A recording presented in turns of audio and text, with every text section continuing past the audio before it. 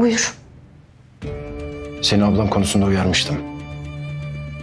Niye hala yanındasın? Ben sadece bir ihtiyacı var mı diye sormak istedim. Sormayacaksın.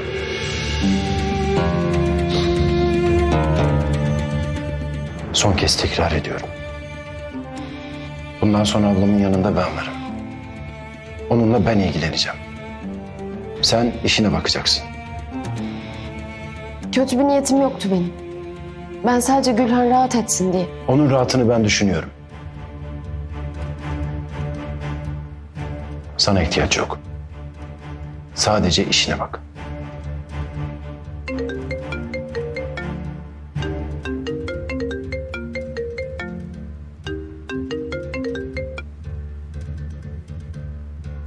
Söyle Eren.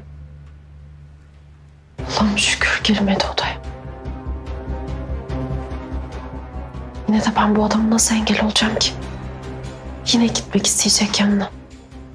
Bir ziraat mühendisi bulmamız lazım Halil. Bundan sonra araziye ne ekilecek? Hangi yöntemi kullanacağız? Artık karar vermek lazım. Bitkilerin dilinden anlayan, deneyimli birini bulmamız şart. Tamam. Sen bizimle çalışabilecek ziraat mühendislerine bakar ol. Bir liste yap.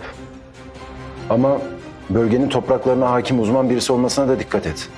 Hepsiyle tek tek görüşülecek. Tamam, ilgileniyorum. Allah'ım bir sorun çıkmasın lütfen. İyi tamam. Görüşürüz.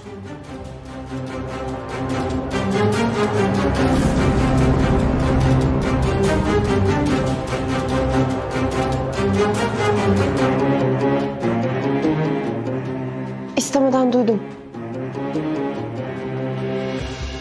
Ben de ziraat mühendisiyim biliyorsun. İşi en iyi şekilde yapabilirim. Belki iş için beni de düşünürsün.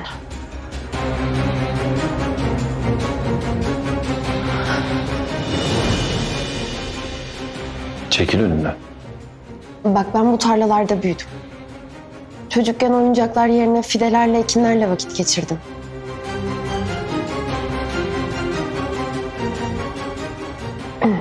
Babam sağken, tarlalar bize aitken de kimseye ihtiyaç duymadan her şeyle kendim ilgilenirdim. Yani gerçekten yapabilirim emin ol. Ee, ayrıca sana göstermek istediğim bir şey var. Serada. Daha sonra. Lütfen. Daha sonra dedim. Şu an içeride ablam yalnız. Hayırdır? Bir şey mi oldu?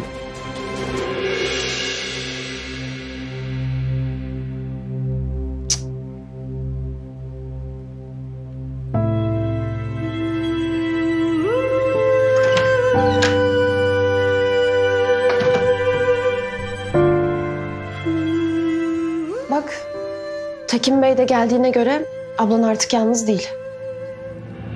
Seraya gidebiliriz değil mi? Şu an benim vaktimi çaldığının farkındasın değil mi? Değecek ama.